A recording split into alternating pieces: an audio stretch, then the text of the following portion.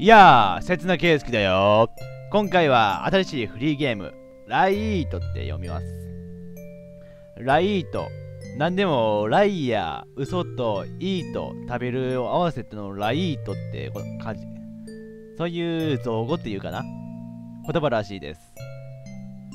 このゲームをやっていきたいと思います。えー、そうやね。このゲームは、まあ、ライート、ライヤーから来てるライトって言葉がある通り、まあ、嘘の物語になるかな。なんでも、嘘をついて物理で殴るみたいな そんなキャッチフレーズがありましたね。まあ、ちょっとやっていきましょう。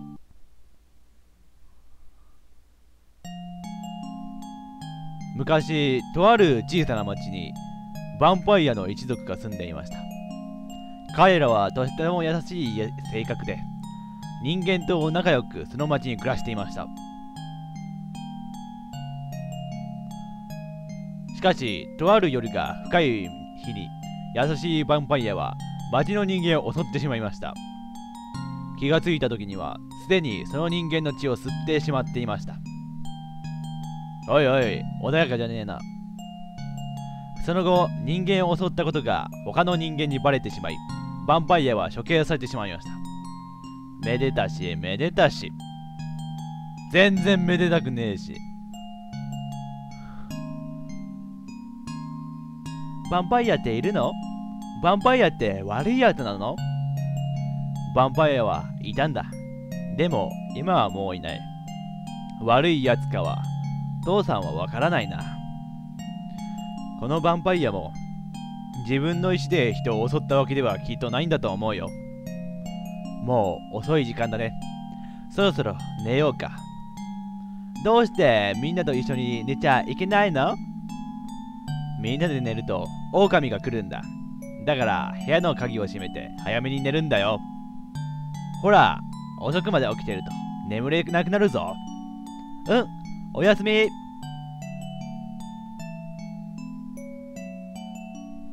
ヴァンパイアが出てくるゲームなんだよな。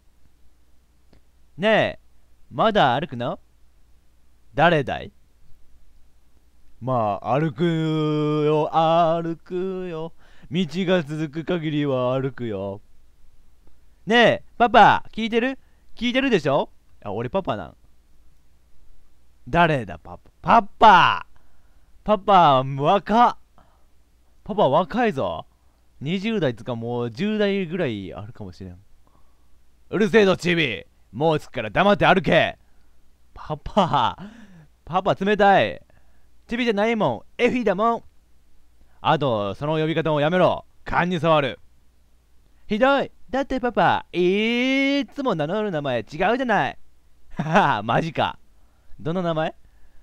えー、例えば、ジョニーだったり、翼だったり、田中だったりするかな。うん、ねえ、おんぶしてよ。えっと、10万持ってこい。そしたら、おぶってやる。実の娘からお金取ろうとしてる。えー、それ、えーってなるわ。バカバカな事情やだ。えげつないほど憎たらしい性格と見た。見た目かっこいいのにね。ほら、着いた。あと、ここでは、俺はレオだ。そう呼べ。えー、返事。はいレオと、なんで読むこれ？エフィー。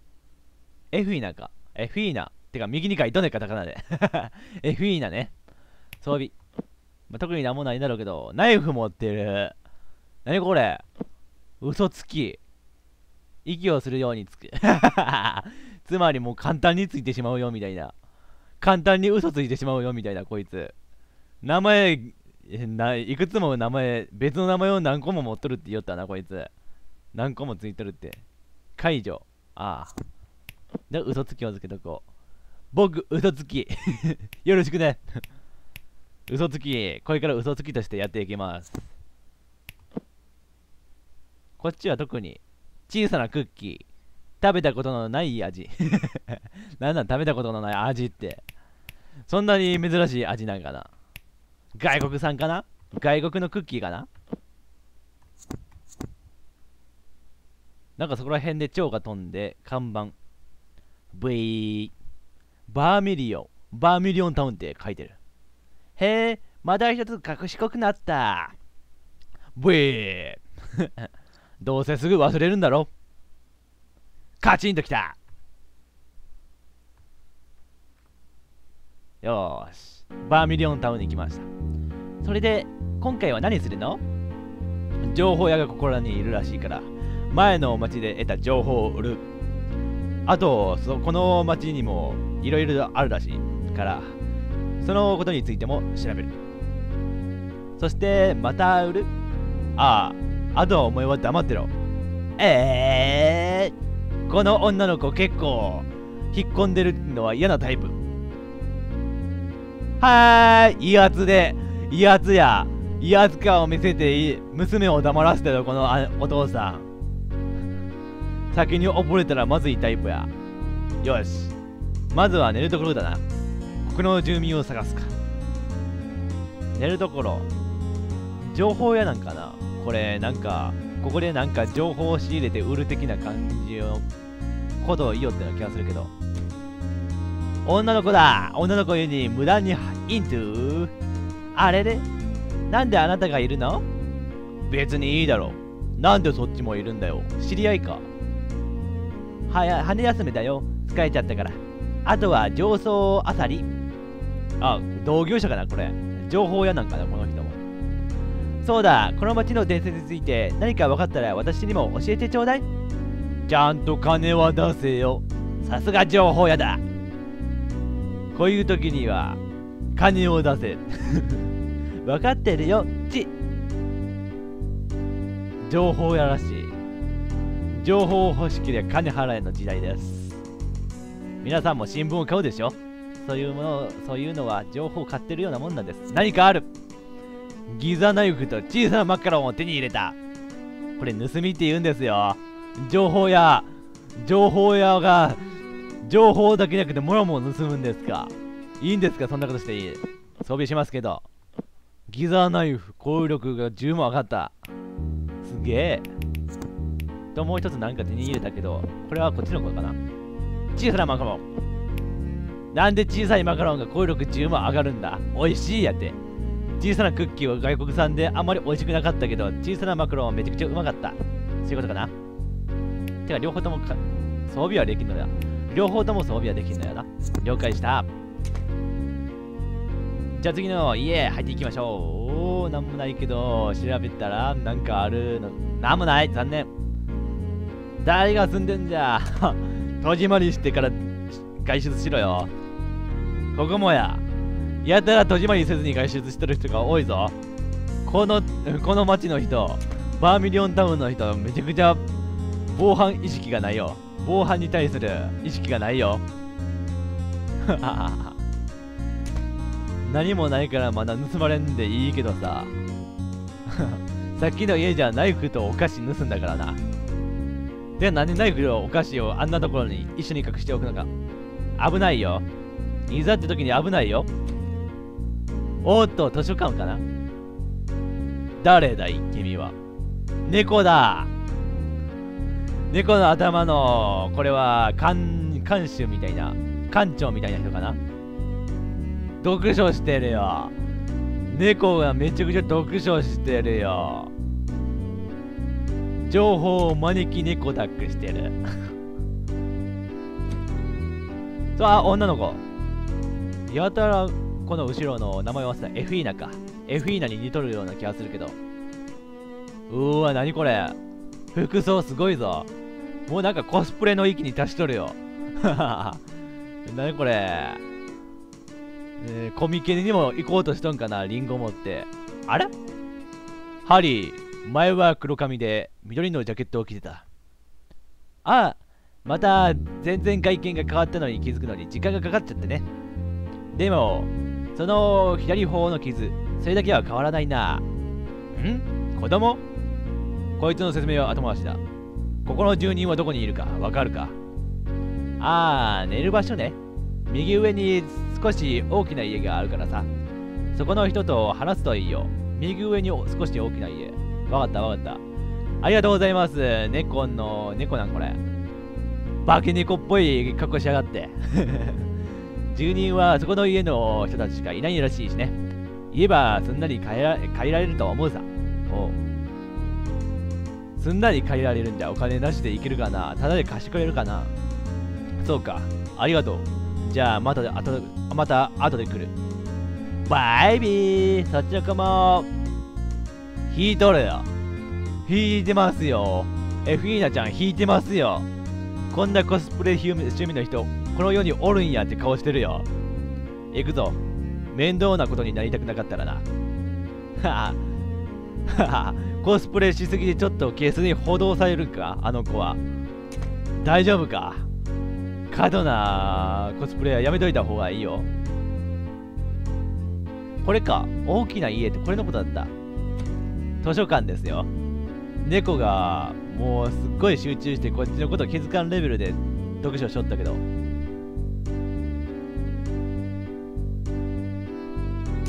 気づかれんかった。案の定気づかれんかったよまた。えここ？もしかして大きいってここの家のこの家のことを言うんかな？あイベント入った。おや。こんにちは。私レオと申します。お尋ねしたいことがあるのですが。レオがなんかいつもの性格を抑えてめちゃくちゃ丁寧に喋ってる。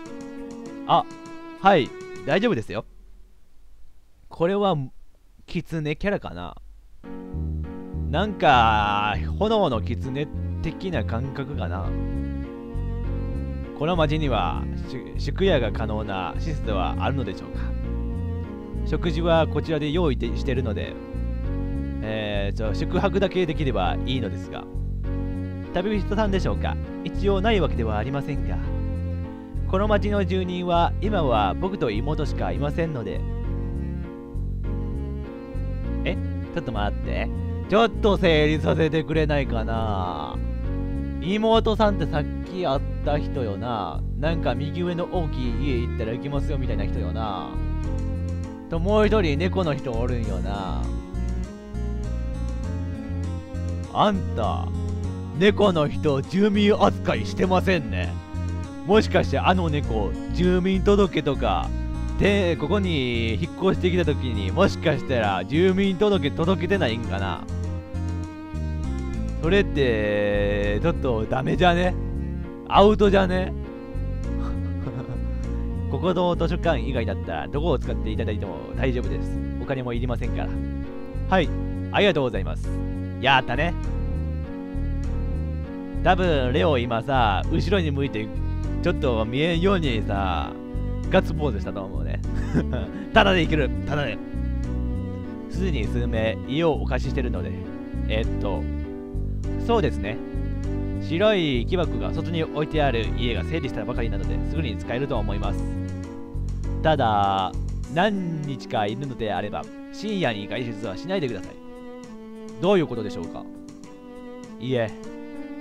おっと、これは事件の匂いですよ。情報や事件のことも調べに行きタイプかと思われます。俺の勝手なイメージ。狼が出るんですよ。かなりの凶暴で人を襲うので。狼。これ、ライアー、嘘って言うけどさ、人狼ゲーム的な、人狼ゲーム的なことが展開されるのかもしれません。はい、わかりました。気をつけます。はい。何かあれば、僕の基本、僕は基本自宅にいるので。ああ、自己紹介が。僕はキース。キース・リグファイヤーです。